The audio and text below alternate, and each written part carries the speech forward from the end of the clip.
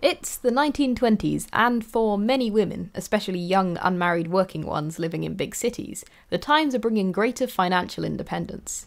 Combined with more open attitudes and having grown up through the war, meaning many are used to greater social independence, there develops something of a new type of woman.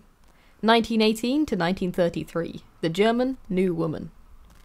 There is not perfect consensus on what exactly it means to be a new woman, but in general, the two key points are that they work a white collar job, i.e., in an office or as a sales assistant, and that they consume a lot.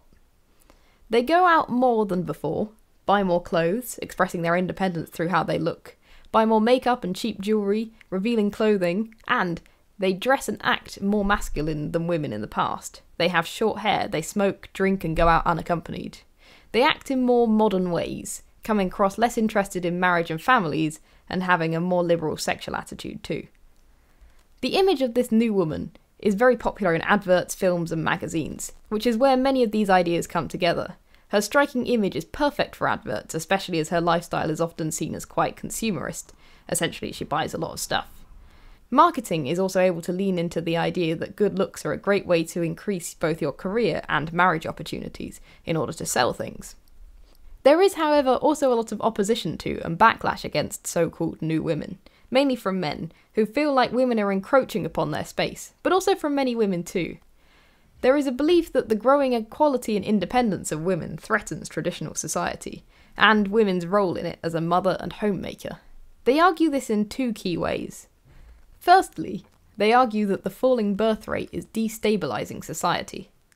In 1913, there had been 27.5 live births per 1,000 women each year. By 1925, this number has fallen to 20.7.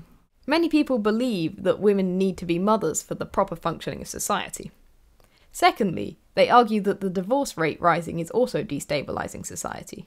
In 1913, there had been 26 divorces per 100,000 people each year, and by the 1920s, this has risen to 60 per 100,000.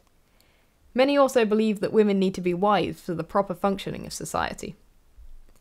There is also backlash from older feminists against the new woman, who see these young women as irresponsible, taking for granted the freedom that they, the older women, have fought so hard to achieve for the younger ones.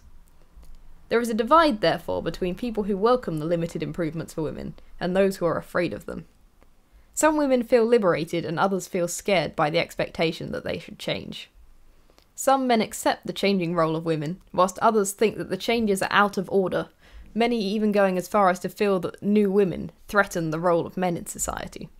Conservatives, traditionalists, and much of the clergy, church people, complain loudly that women are stepping out of line, disrupting male dominated society, and that they should instead just focus on their jobs as wives and mothers.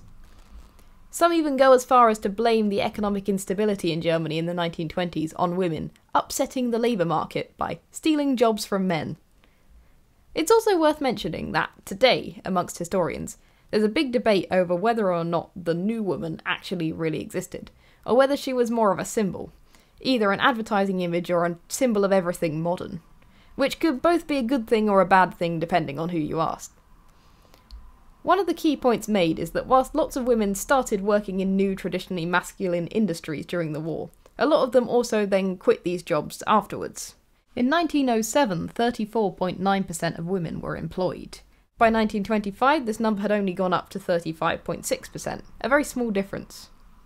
Another point is that women in white collar office jobs, the type of job seen as stereotypical of the new woman, also weren't paid particularly well and generally couldn't afford to move out from living with their parents, and therefore couldn't actually afford to live the new woman lifestyle, even if they would have wanted to.